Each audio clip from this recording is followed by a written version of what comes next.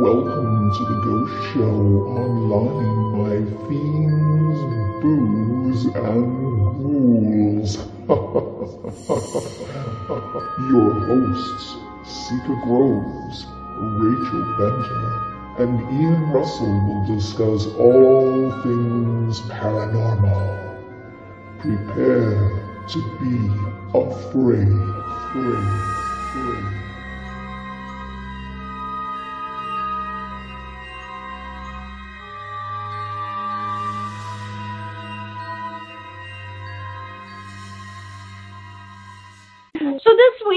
we're going to chat about the origins of Halloween and, you know, sort of I think we can talk about the history of it, but also too, you know, sort of what does Halloween mean to, you know, Rachel or Ian or myself? Um, you know, do we you know, we we all kind of have our own take on it and uh, we also have our own, you know, spooky, creepy factor as to Halloween. And like I said, for me, work wise, this is always the most busy season for me.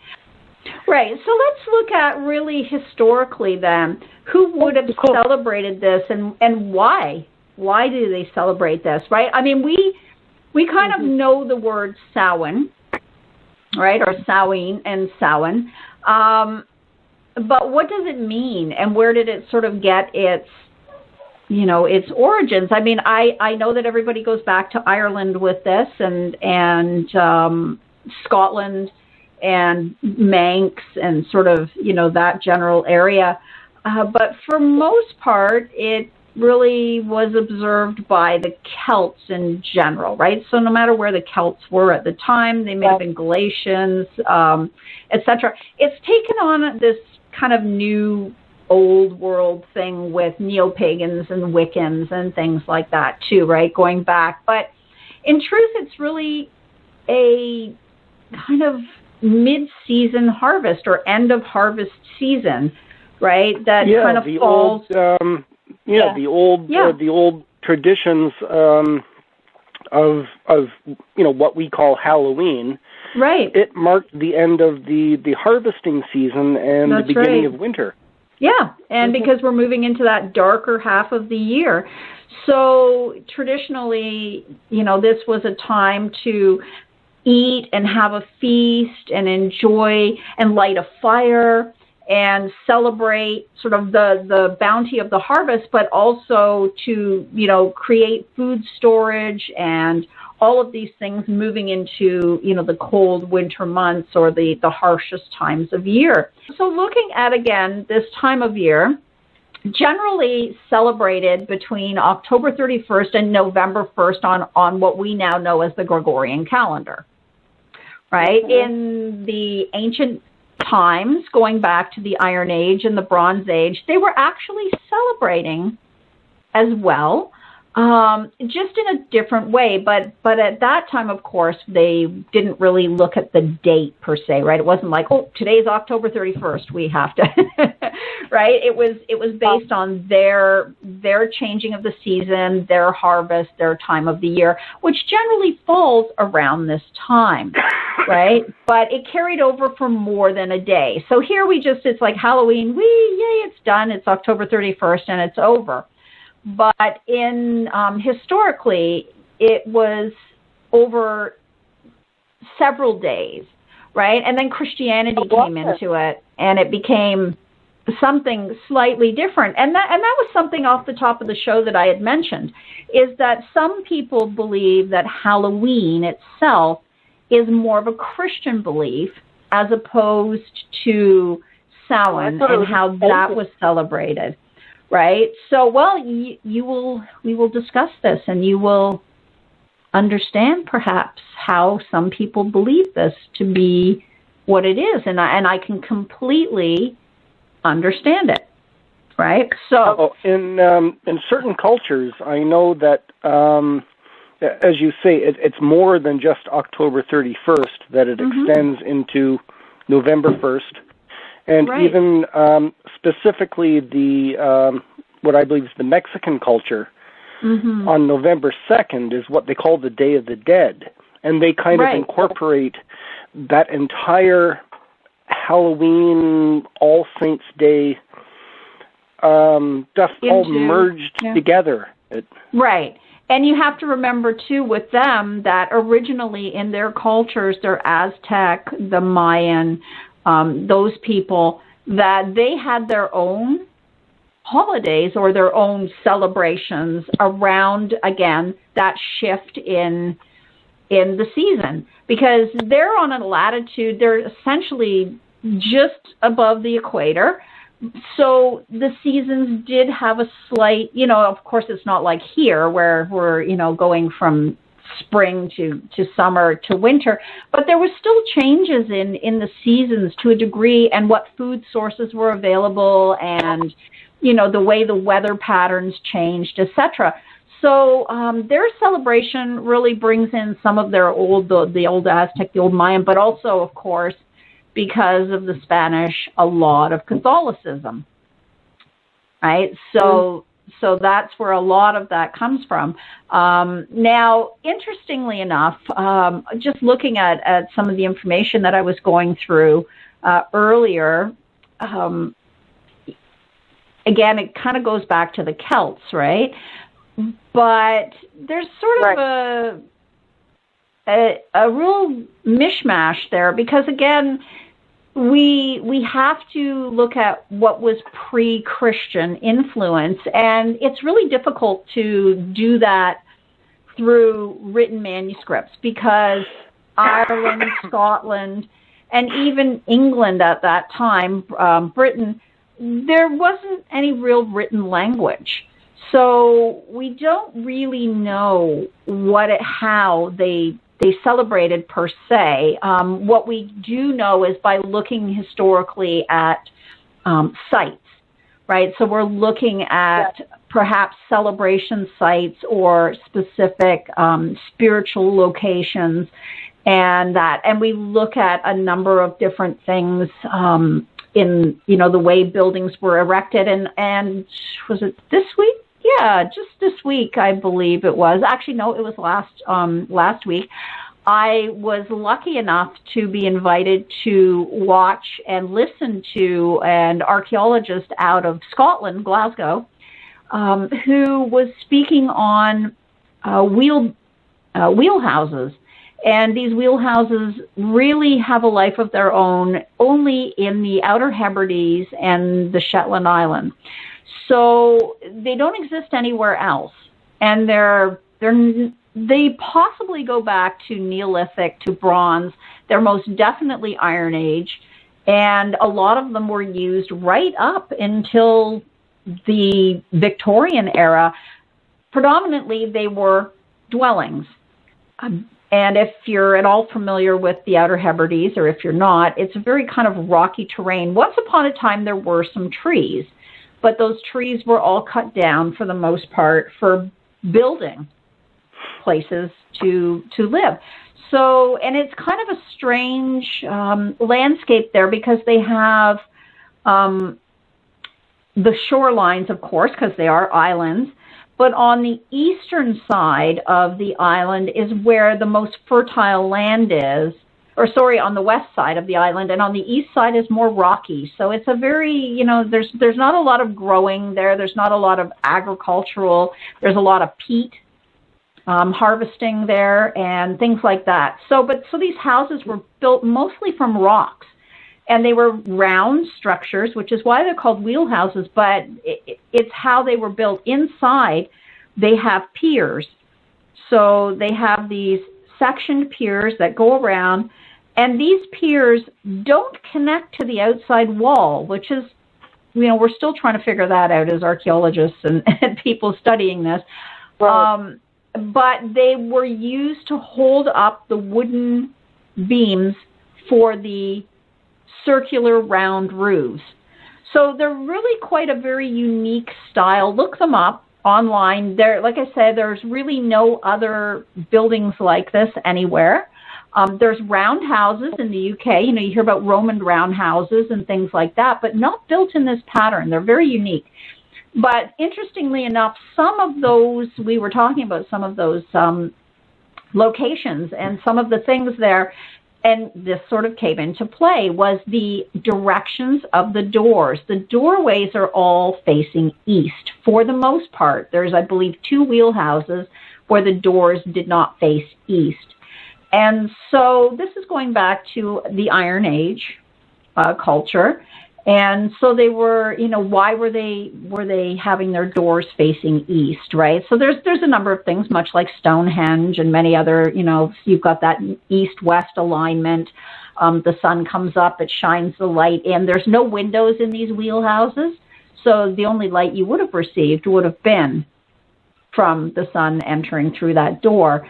But also, too, oh. there's the Eastern Passage and a lot of things with death that are associated with the facings of the directions.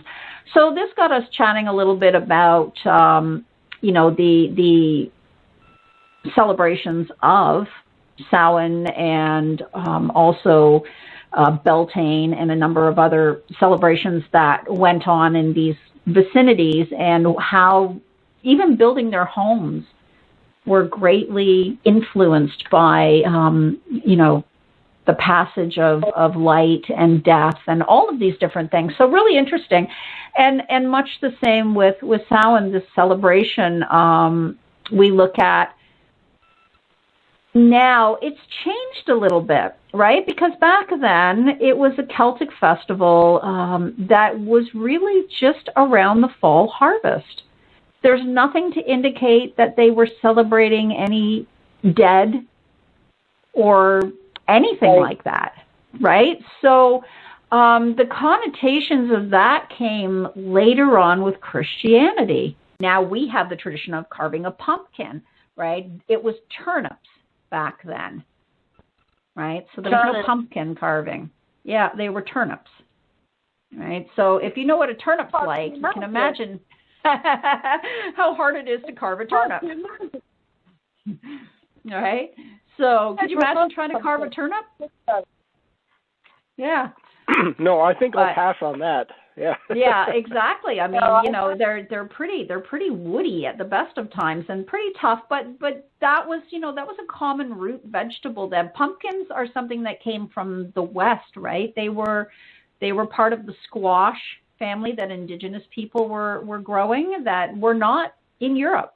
Europe didn't have them. Nowhere had them until, you know, until we had that exchange of um, European invaders and taking back things like tomatoes and squash and potatoes and all of these things to the old world, as they like to call it, from the new world.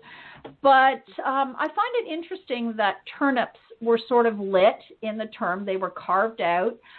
They yeah, I never knew that. Yeah, and there's also too sort of a, you know, we're we're trying to figure out um, some, I guess some old small fragments of these things have been found, but there's nothing to say that they were carving faces in them, right? So again, that comes later on but they were lighting turnips and they were putting, you know, a, a, source of fire inside the turnip and placing them outside the door. And at the time, um, it really, what that was, was an invitation for the living to visit and to share food with each other. So it didn't really have anything to do, again, with death. Oh. It was about eating and, and sharing and preparing for the the winter. And coming so, back to the celebration of the harvest. That's right, coming back to that celebration of the harvest. So, right. um, you know, historically, it, it really is. Um, it's it's taken on new, you know, a new life in in a sense, right? That um, you know, this was a time of the year when the cattle were brought back from the summer pastures. They usually sent the cattle, um, cattle and sheep uh, would go to the highlands over the summer and they would mm-hmm. graze there and they would, you know, and then come this time of year, they would bring the cattle back to the lowlands because it was less harsh and also because you needed to slaughter them for food. So it mm-hmm. was that time where you spent, you know, they spent the summer eating and fattening up, and and you know, for the purpose of us to um, to consume. So it really is around food and the celebration of food. And until we get that Christianity creeping in, there's nothing to really show us that it was anything outside of that, weirdly enough. I hate to say it, all you neo pagans and Wiccans who believe that it was all about conjuring up the dead. Um, there's yeah, nothing to nothing nothing to prove uh, that. Yeah, at this point, right? But it doesn't mean it didn't happen. It just means that we can't find any viable proof to show that these you know these things happened um, there's you know stories word of mouth but it's been a thousands of years. What are your sort of recollections of halloween over the course of your life? Like have they changed? Is it um, you know is it different now than when you were a kid? Or you know sort of what stands out for you? So when I was younger, I absolutely loved Halloween. Uh, back in England, it, it's very similar to the way you guys celebrate it um, over here. Well, not you guys because you're Canadian, but the Americans, the way the Americans celebrate it. You know, with all the decorations and um, all the Halloween costumes, and um, we used to buy these plastic masks that you could get that just had like a picture of a witch on it or something like that. Uh, my mom, my mom once got me a.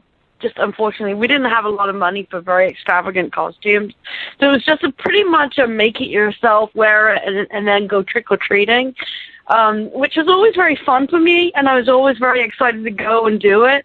Um, you know, with all the other kids, my my my parents at one point lived in a sort of suburban suburban street, um, so it was very much that sort of running from house to house with your little basket and and and so forth, and getting your candy from your neighbors that you, know, you tend to know.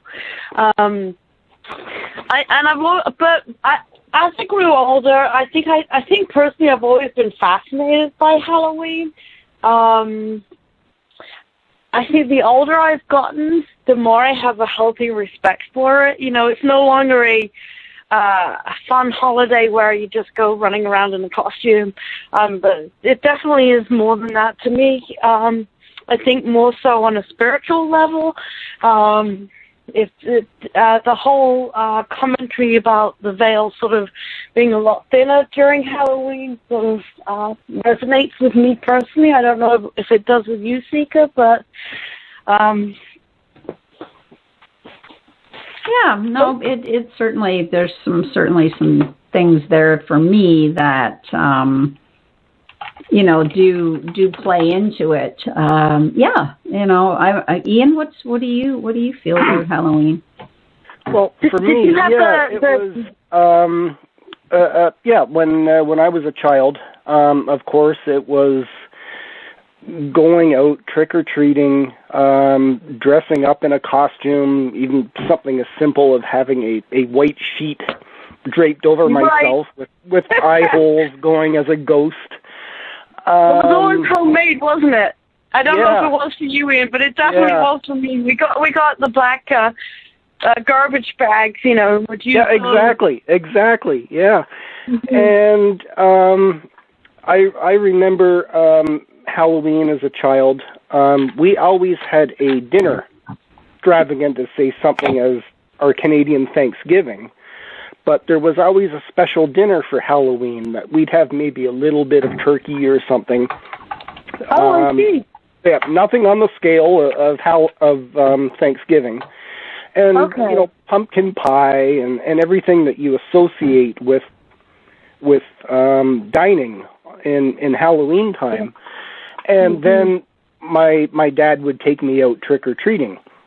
And uh, well, my dad is passed you know years ago now. He died when I was young, and so for me, it was then uh, once I had children, it was able to take my daughter out for trick or treating mm-hmm. and sort of continue our whole family tradition of having that dinner and then going out trick or treating and dressing up in the costume. Yeah.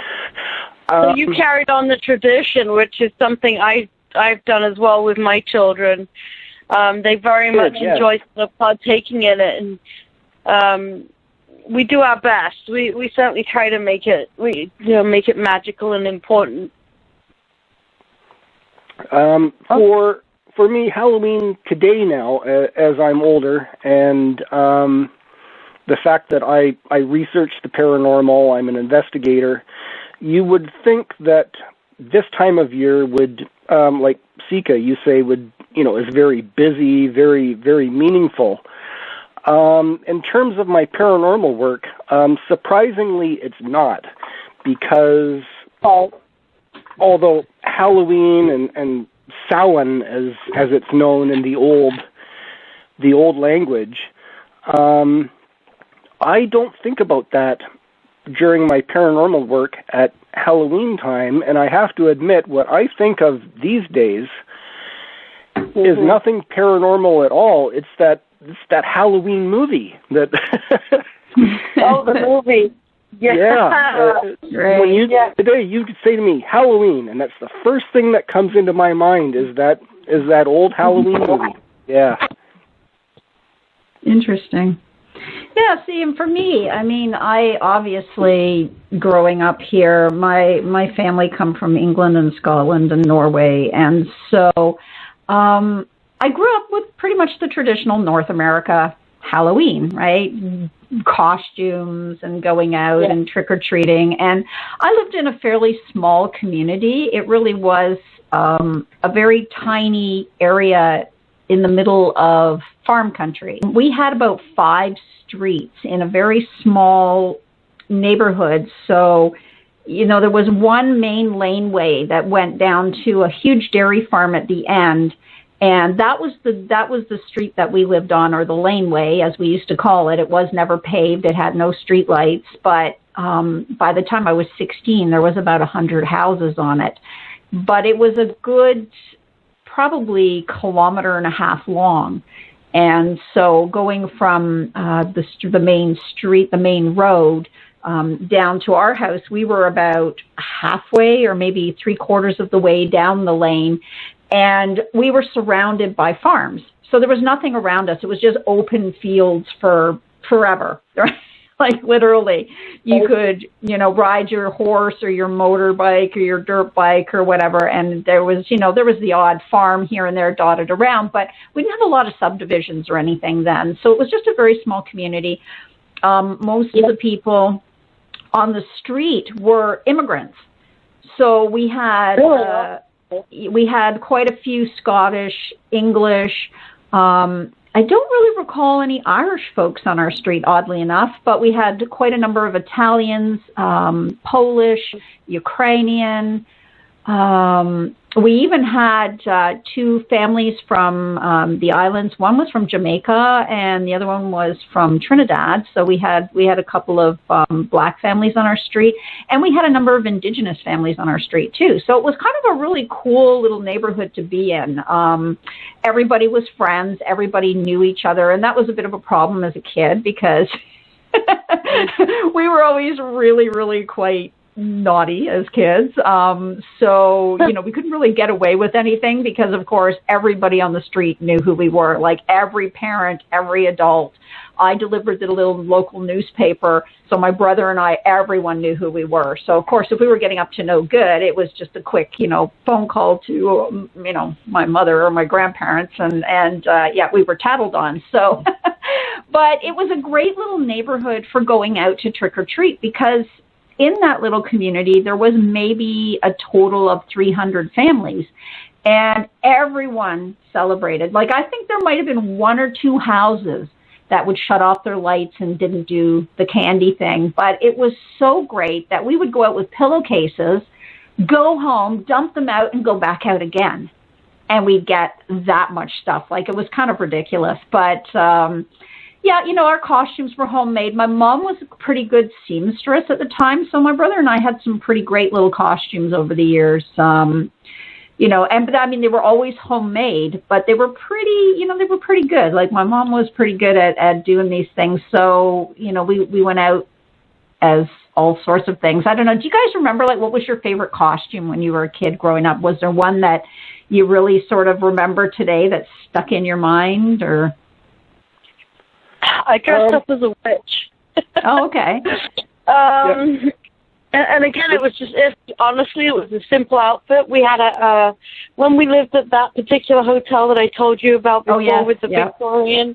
Uh, we did actually um, host a, a Halloween party right there Fun. for all the kids, and it was it was a lot of fun. Um, and I did dress up as a witch with the, with the you know the broom and the um oh my gosh, it was great. It was so much fun wearing just a black felt skirt and uh, a top. But it also it was uh, yeah, it was great. Uh, in what what what do you remember dressing up as? For me, it was just a simple white sheet with the with go. the White label sheet. as, as a Everybody ghost. did yeah. that. But Everybody. it's fun. It's fun. No My- No, judgment. yeah, it, no, it's so no, simple, no but, but it was great. Yeah. But my my oldest son, that was his very first costume when he was three. He wanted to be a ghost, and that was it. And it was literally he wanted to be a ghost. And we didn't go out trick or treating at the time. We just we gave candy out at the door, and that was great for him. He loved doing that. And I think for Aw. him, like we had, I had a lot of fun. I I had some really great costumes. Like I've got some photos still of my brother and I. I think I'm about five, and I'm a witch and I've got a plastic mask on my face. But the co- rest of the costume my mom made, it was really cute. And then my brother was a clown, which was totally appropriate for him. Um, and and then um, the next costumes I remember were later on. I was older. See, I don't really remember anything in between that. I remember I was about maybe nine or ten, and I went out in my saloon girl slash AKA pioneer attire, but it was you know with the big high brimmed hat and the and it was you know it was more like Oh, Little House on the. Prairie kind of thing.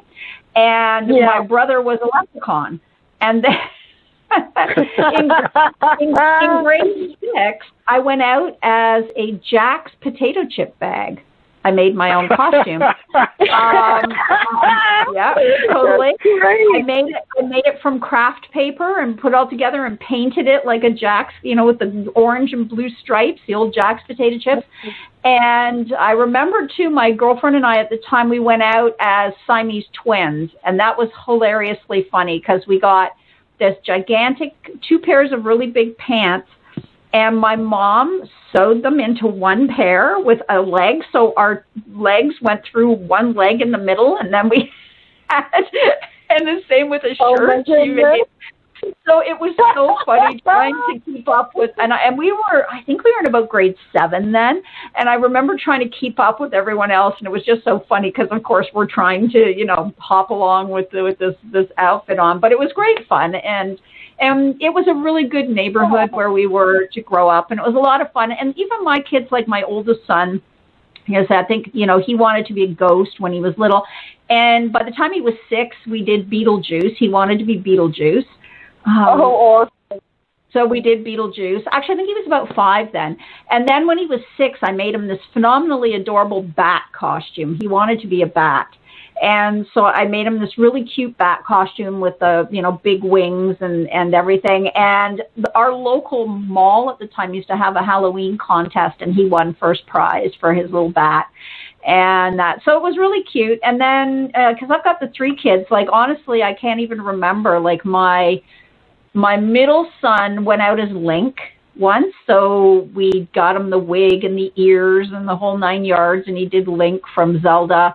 And uh, my youngest one was just totally happy going out as Power Rangers, anything Power Rangers or Spider Man, he didn't care.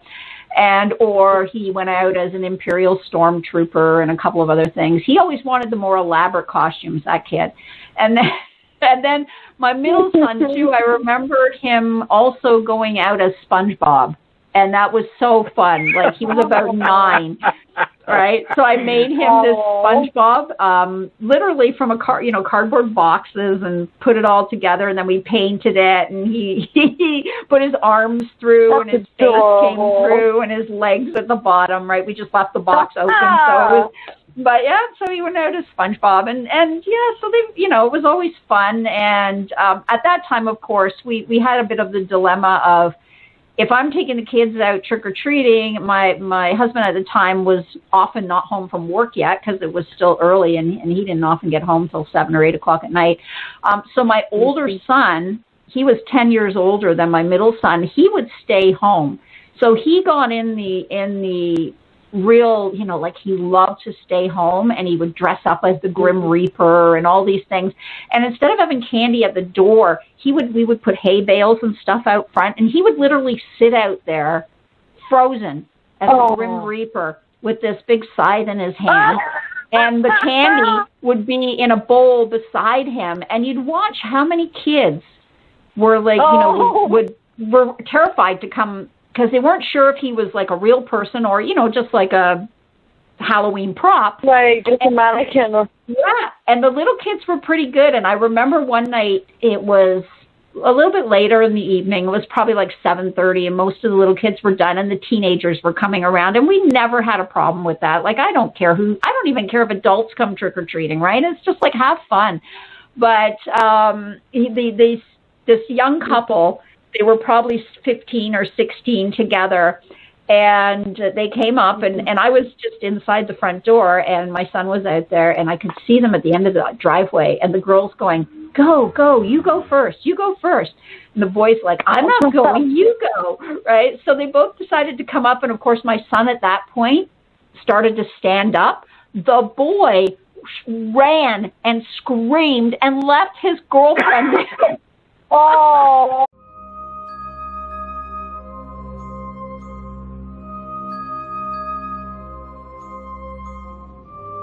Thank you for watching The Ghost Show Online. Join your hosts again next week as they discuss more tales of the supernatural, the paranormal, and all things spectacular.